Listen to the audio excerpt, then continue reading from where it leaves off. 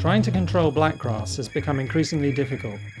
With resistance to contact products and active ingredients being found in surface waters, the armoury of active ingredients could be reduced yet further.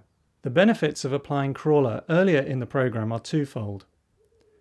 Improving blackgrass control by utilising chemistry with no known resistance, and targeting smaller actively growing plants. It also ensures the long term sustainability of the product through positive water stewardship by allowing more time for it to break down before the autumn rains, thus reducing its levels in surface water.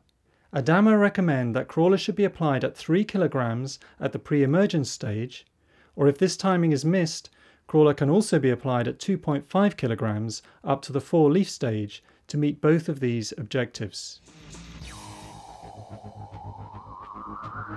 Mm-hmm.